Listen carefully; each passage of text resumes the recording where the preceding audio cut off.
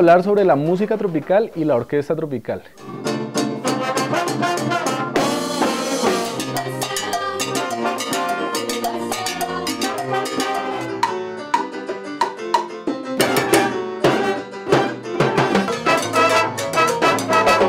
Entonces vamos a comenzar con la influencia que tuvieron los africanos. ¿Y a qué se refiere la música tropical? ¿De dónde? Entonces la música tropical se refiere a la música que se hace en el trópico, en países que están por el Caribe sobre todo, como Cuba, Puerto Rico, República Dominicana, eh, Nicaragua, México, Colombia, Venezuela, Panamá. Todos estos influenciados fuertemente por la música africana que llegaron en la colonia con los españoles.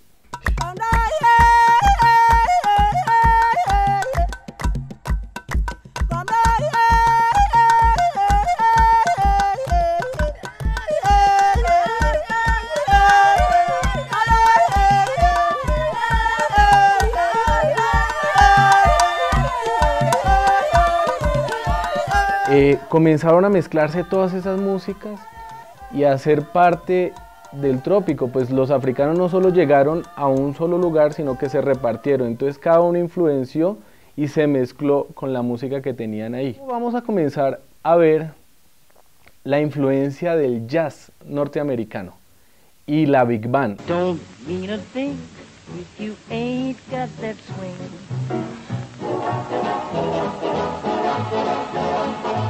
La Big Band es el formato más grande de la música del jazz. Entonces tiene trombones, trompetas, saxofones, batería, piano, bajo, guitarra.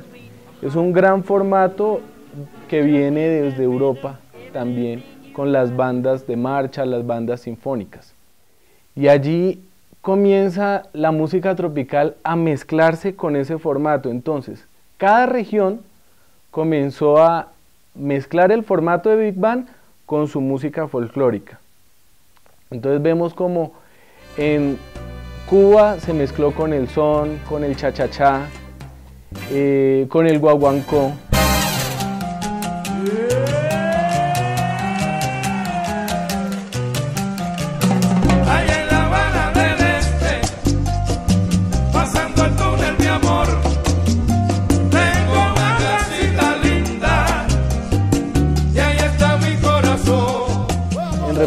Dominicana se mezcló con el merengue, en México con el son jaroche, con el mambo.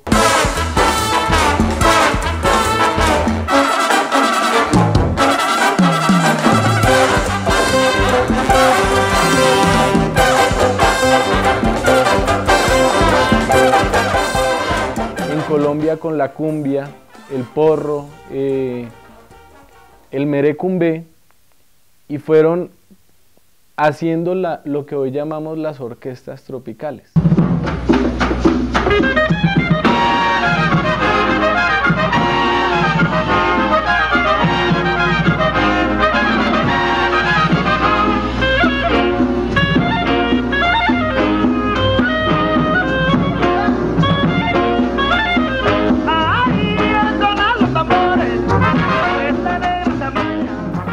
Bueno, entonces con cada región nació un tipo de música totalmente diferente. No es que la música tropical sea un solo tipo de música.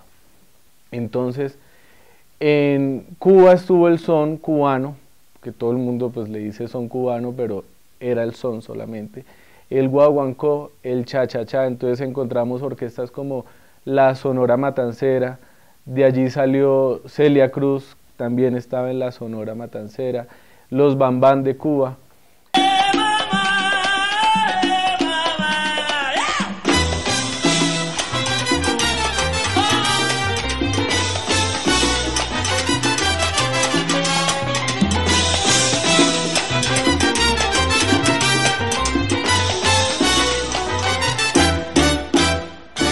Bueno, en la parte dominicana encontramos que se mezcló con el merengue. Entonces estuvo Juan Luis Guerra, Wilfrido Vargas, curiosamente Wilfrido Vargas al principio solo hacía música instrumental, no tenía letra. Ah, después se le fue involucrando la letra. Pero no, pero no me escuchaba. En la tumba mi palabra se quedó, soy el palo que cayó por mi mala suerte. En México estaba Damaso Pérez Prado, pues el rey del mambo, que también influenció acá. Eh, en Colombia está Lucho Bermúdez, Pacho Galán, que fueron los precursores de, esta onda de la música tropical en formato de orquesta y de big band. A ti te gusta el. Sabroso y yo no sé por qué. Será el merecumbe que yo bailo sabroso. Tú me dices, negrito lindo, que lo ruego, no me abandones. Si me dejan, no se cae. Si te gusta el merecumbe. Bueno, y ustedes dirán, este man está hablando sobre el cha-cha-cha, sobre el son, sobre el merengue, sobre la cumbia, sobre el porro. ¿Y qué pasó con la salsa? ¿Dónde nació la salsa? ¿Dónde estuvo la salsa? Mucha gente cree que la salsa es de Cuba o de Puerto Rico. Y no. La salsa nació en Nueva York, nació en Estados Unidos. Le dijeron salsa porque fue la mezcolanza de todas las músicas latinas que terminaron en Nueva York.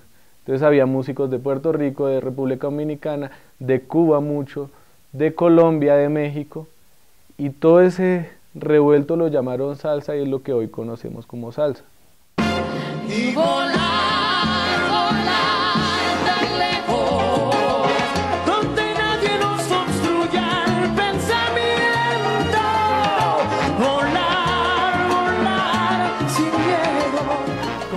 Curiosamente, muchos de los grandes expositores de la salsa no son latinos, aunque uno los identifica como latinos. Eh, en Estados Unidos, a todos estos salseros que hacen música tropical, música latina, pero no son latinos, les los han nombrado como los New Yorkican, como entre de New York y de Puerto Rico. Entonces, hay personajes como Willy Colón, eh, Mark Anthony, que son gringos, son estadounidenses, pero con toda su influencia y con toda su familia latina, y llegaron a tocar fue música latina, música en español, salsa. no debo decir lo que dicta mi emoción. Siento que tú de mí.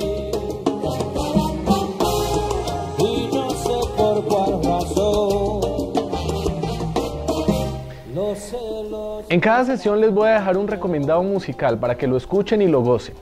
El recomendado musical de hoy de la música tropical son Maite Ontelé, Habana Abierta, Toño Barrio y Pedrito Martínez Group. Escúchenlo, gócenlo, búsquenlo por todas las plataformas y que lo disfruten.